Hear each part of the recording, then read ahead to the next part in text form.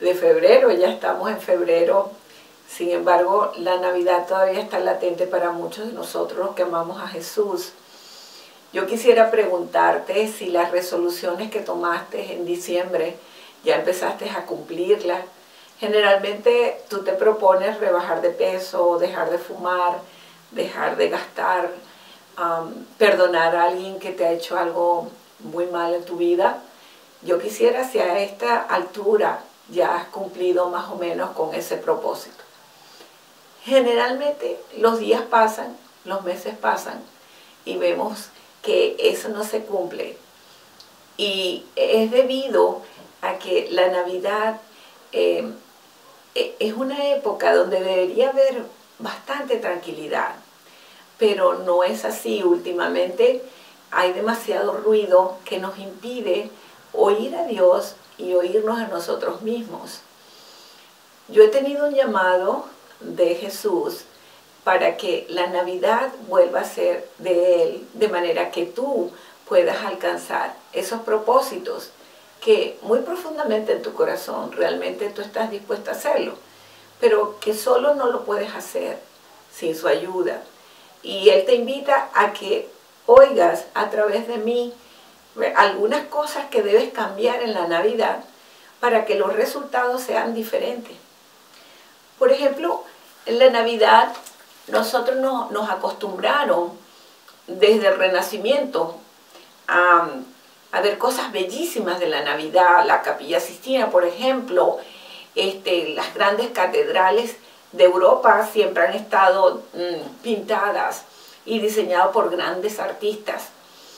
Pero cuando tú entiendes que el pesebre es humilde, ¿verdad? Eh, que los padres de Jesús fueron muy pobres. Es como que no se relacionara esa grandeza, ¿verdad? Del oro, de, tanto derroche de arte, con la esencia de la tranquilidad, de la, de la humildad, de la austeridad de un pesebre. Y por ahí, desde ese entonces, se ha tergiversado muchísimo el sentido de la Navidad hasta nuestros días que yo te invito a que revises realmente con lo que yo te voy a decir si tú lo estás haciendo en tu casa. Por ejemplo, se usa en el arbolito, ¿verdad? El pino. El pino no tiene nada que ver con el desierto y nuestros personajes de la Navidad vienen de una zona desértica donde no se crían los pinos, donde no nacen los pinos. Sin embargo, la palmera sí, la palmera tiene que ver muchísimo con la Navidad, con la vida de Jesús. Es de, ella se da en las zonas del desierto, da alimento también, da brisa, da fresco. Y, y en la Biblia se habla muchísimo de la palmera y se le asemeja con la rectitud del hombre, con la integridad del hombre. Acuérdate que cuando Jesús entró a Jerusalén también lo recibieron, ¿verdad? En triunfo con palmeras. La palmera tiene más protagonismo en la vida de Jesús que un pino. Ya por ahí debes estar revisando, ¿verdad? Además, después que pasa la Navidad, tú conservas tu palmera en la casa y no tienes que botarla como el pino. Me da tanta tristeza cuando en los primeros días de enero ves las calles llenas de pinos allí que los recoge después la basura. Bien, la otra parte que te iba a sugerir que, puedas mejorar para la Navidad en tu casa, para ti, tu familia, eh, la oficina, las iglesias inclusive, es los colores, la música y la comida, ¿verdad? Para que haya como un balance en todas estas cosas que nosotros practicamos para celebrar el nacimiento de Jesús. Por ejemplo, los colores de barro, de la madera, de la arcilla son colores relajantes, ¿verdad? Eh, te calman, te invitan a hacer todo lo que tienes que hacer, pero sin esa excitación y esos nervios, esa ansiedad, ese apuro, ese estrés. La Navidad es una época de reposo, de tranquilidad. Y esos colores te invitan a hacerlo.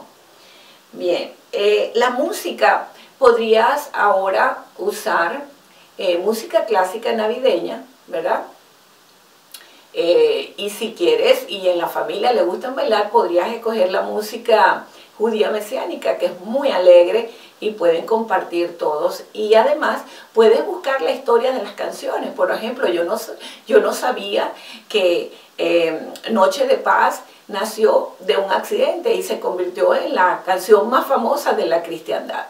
Entre la familia pueden hacer una dinámica de la historia de, de las canciones de Navidad y se van a divertir muchísimo.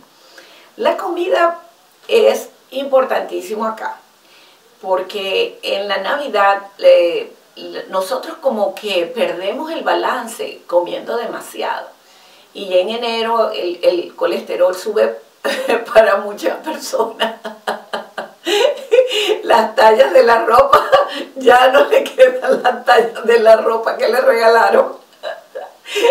Perdóneme que me ría, pero me estoy riendo de gozo, porque ustedes saben que eso es la verdad.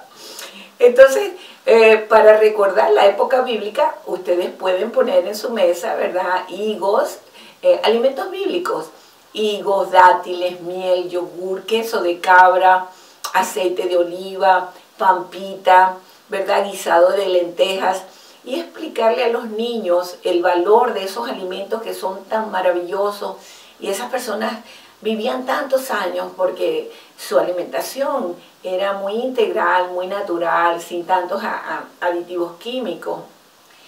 Eh, además que eh, de que cuidas tu cuerpo con la alimentación, también instruyes, ¿verdad?, a tus hijos y a tu familia de la responsabilidad, ¿verdad?, que hay también con los alimentos, no botarlos, cuando uno ora por los alimentos en la mesa, ¿verdad?, después no botarlos, eh, tener respeto por otros ah, países y otras gentes que no tienen la facilidad de tener alimentos como nosotros. Otra de las sugerencias que te doy para celebrar una Navidad verdaderamente como a Jesús le hubiese gustado, porque aquí el personaje es Él. Acuérdate que cuando van a ser un niño, ¿verdad? Los abuelos tejen las sabanitas, eh, nosotros pintamos la habitación, este, las familias y los amistades están pendientes del regalo que le van a hacer al niño. Todo es una ocasión. Bueno, nosotros, eso no cambia, porque estamos recordando esa época que dividió la humanidad en antes de él y después de él. Imagínense qué importante, qué importante es celebrar el cumpleaños de Jesús. Entonces, eh, yo te sugiero que en la lista, ¿verdad?, que tú tienes de invitados a comer a casa, también agregues una lista en los orfelinatos, en los hospitales, en las cárceles, en los ancianatos, eh, que tus hijos y tu familia preparen bolsitas que puedan llevarle a los mendigos en la calle, ¿verdad? Si te da miedo o te intimida entrar en contacto con ellos, los puedes dejar en un sitio donde tú sabes que ellos se reúnen, ¿verdad? Debajo de un puente y que ellos caminen y encuentren esa bendición allí, que fue un ángel que lo dejó. Una bolsita con pan, un pedacito de, queso una latita para que no se eche a perder. Y ese ángel, imagínate que fuiste tú. Eh, entonces, considera la lista de tus invitados el próximo año, ¿ok? Este, otra cosa em, que te iba a decir, el pesebre es un llamado a la humildad. Yo quisiera trasladarme un ratito al lado del pesebre para darte una idea cómo tú lo puedes hacer en casa. ¿Ok? Mi última sugerencia es la más importante para que tú pases una Navidad con significado. Mm, una Navidad sensible a las cosas que Dios quiere de ti. Yo sé que es difícil hacer cambios cuando hemos estado muy acostumbrados a hacer algo y después viene un cambio, pero recuérdate que no es igual verdad a realidad. Son dos conceptos que se parecen, pero no son iguales. La realidad es que la Navidad se celebra con Santa Claus, ¿verdad? O San Nicolás y se hacen muchos regalos, se compran muchas cosas, se come mucho, se viaja mucho, se gasta mucho. Esa es la realidad, pero no es la verdad. La verdad es que la Navidad le pertenece a Jesús. Y Jesús es humilde, es amoroso, sus padres fueron muy pobres, eh, y a pesar de tener muchísima riqueza porque es el creador, sin embargo decidió nacer en este pesebrito tan humilde para darnos una lección. Esa es la verdad. Entonces, yo te invito a que en tu casa, en tu oficina, en la iglesia, en edificios gubernamentales, la Navidad se respete como la verdad, porque Él es el autor, Jesús es el autor de la Navidad. Entonces, agarra una caja de madera, eh, yo inclusive busqué una donde venden frutas que ellos las botan, agarra la más pobre porque cuando María y José fueron a hacer el censo, no había lugares para ellos donde dormir y tuvieron que meterlos en un establo. Yo personalmente fui a un establo a buscar el heno que tengo aquí en mi pesebre y no aguanté ni 10 minutos del olor, de la peste que había allí de los animales. Y yo cuando salí de allí, luego me sentí un poco, me cuestioné a mí misma, porque yo decía, bueno, si Él que es Dios eh, pudo nacer ahí, eligió nacer ahí, fue por darnos una lección. Y yo no la aguanté ni 10 minutos, me salí de allí. Pero luego, eh, pues fui y conseguí un heno que está tratado, que no tiene ese olor, ¿verdad? y arreglé todo el pesebre eh, en casa para honrar el nacimiento de Jesús. Ahora bien, tú puedes de, hay muchísimas religiones, ¿verdad?, a partir de Jesús. Algunas están de acuerdo con el pesebre y otras no. Y yo te quiero decir la verdad, porque acuérdate que la verdad no es igual a la realidad. La verdad es que hay un solo Jesús y un solo nacimiento. Pueden haber muchísimas religiones y denominaciones, pero hay un solo Jesús y hay un solo nacimiento. Y eso para que tú lo sepas está registrado en el Evangelio de Lucas, que es el que más ah, define, describe y ahonda, profundiza sobre em, María, por ejemplo, eh, sobre este, el ambiente donde nació Jesús. Los otros evangelios, como tú sabes, o por si acaso te has olvidado, yo te lo voy a recordar, Mateo se enfoca más en la genealogía de Jesús, ¿verdad? Eh, porque tenía que ser, el Mesías tenía que venir de parte de un rey, como era el rey David, entonces él se pasea por toda la genealogía de Jesús. Entonces Marco, que es el segundo evangelio, se pasea más bien de cómo eh, Dios preparó el ambiente para Jesús a través de Juan el Bautista. ¿Ok? El tercer evangelio, que es Lucas, entonces se enfoca precisamente en el nacimiento de Jesús, lo que pasó en Belén, el censo, todo eso es muy emocionante. Y el último evangelio, que es el de Juan, se enfoca en la luz. Y ese es el, punto de mi pesebre, especialmente la revelación que el Señor y el Espíritu Santo me hicieron con respecto al pesebre. Porque yo, yo había perdido un pesebre que yo tenía y yo me sentía muy infeliz por eso. Entonces, ahí hubo como una manifestación eh, de Dios en mi corazón para que yo pudiera hacer un pesebre sin comprometer eh, la santidad de Dios. Algunos hermanos, ¿verdad?, cristianos, no hacen el pesebre porque implicaría poner figuras, ¿verdad? Entonces los hermanos piensan que están cometiendo un acto de idolatría. Pero yo te pregunto, cuando tú pones a tu hijo a tomarte una foto con Santa Claus o San Nicolás en un centro comercial, ¿qué estás haciendo? Cuando tú compras todas las tarjetas de Navidad con Santa Claus o San Nicolás, ¿qué estás haciendo? Cuando tú te vistes de Santa Claus para jugar con tus hijos y tu familia y con tus invitados, ¿qué estás haciendo? Le estás dando a un lugar, un lugar muy especial a una persona que no tiene nada que ver con la Navidad. Entonces yo te pregunto, ¿dónde está la idolatría? Yo te invito a que si te preocupa el aspecto de hacer una imagen, entonces puedes usar la luz, ¿verdad? Aquí está un humilde pesebre, ¿verdad? Con la luz. Porque entendemos todos que Jesús creció, se fue, ¿verdad? La parte corporal de él, pero su luz es eterna y eso es lo que puedes poner en el pesebre y no comprometes, ¿verdad? Tu, tu creencia o tu religión. Ah, los hermanos católicos, ellos hacen el pesebre desplegando todas las imágenes, pues de los animalitos, de María de José, los tres reyes magos. Pero también yo lo respeto y si tú no te sientes cómodo con eso, puedes hacerlo con la luz. Yo represento a todos los animalitos, las ovejas, las cabras y todo, con dos venaditos acá. Y represento a María, no le enfoco mucho la cara, ¿verdad? A María y a José como la familia. Para mí tiene un significado muy especial porque Dios se humanó en una familia.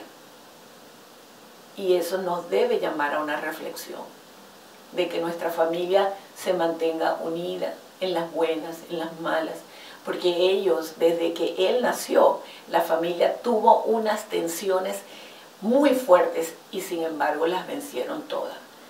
Entonces Dios escogió humanarse con una familia, por eso también los debemos respetar a ellos, el recuerdo de ellos, ¿verdad? Que aún en esas situaciones tan estresantes eh, no se separaron, al contrario, enfrentaron todo lo que tuvieron que enfrentar por su hijo, ¿verdad? Eh, dando una muestra infinita de amor y de templanza, como tiene que ser la familia. Bueno, eh, eso es ya la parte del pesebre. Eh, y para los más intelectuales, porque siempre en la familia hay, alguien intelectual que busca muchísimo y pregunta bastante, ¿verdad? Para ellos yo les tengo también un reto, y, lo ha sido para mí. por ejemplo, eh, tema de discusión eh, en la Navidad puede ser qué diferencia hay entre encarnación, reencarnación y resurrección. Eh, ¿Quiénes eran los tres reyes magos? ¿De dónde venían? ¿Por qué siendo magos y la Biblia está en contra de las adivinanzas y de los magos y todo eso, porque ellos recibieron la revelación acerca de la estrella de Belén que los iba a guiar, ¿verdad? Y la estrella de Belén se detuvo justo donde estaba el Salvador. ¿Quiénes eran ellos? ¿De dónde venían? ¿Por qué recibieron esa revelación? Ahí está otro reto. ¿Ok? El otro reto que te invito, ¿verdad? A escudriñar y a buscar son los tres regalos que ellos llevaron, ¿verdad? ¿Sabes? Te recuerdas que era el oro, la mirra y el incienso. Cada uno de esos regalos tiene un significado muy profundo que va a determinar la vida de Jesús aquí en la tierra.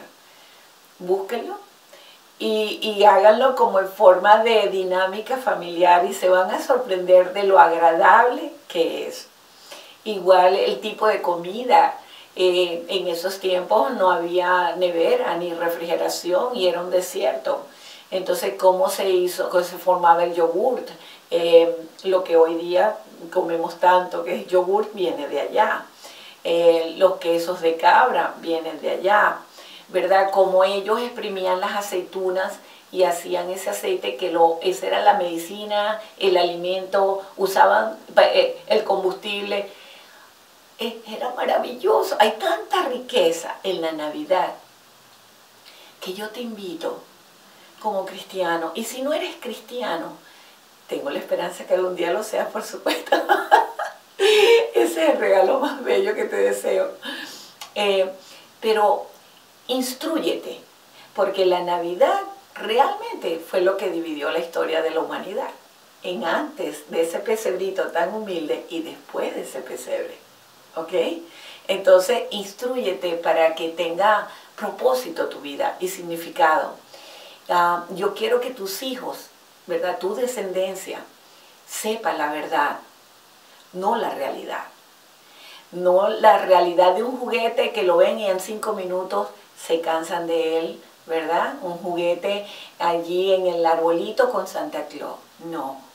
Esta, el pesebre es una verdad y es eterna no es cinco minutos, no es en un centro comercial, es en tu corazón, es en tu familia, es en tu vida y es para la eternidad.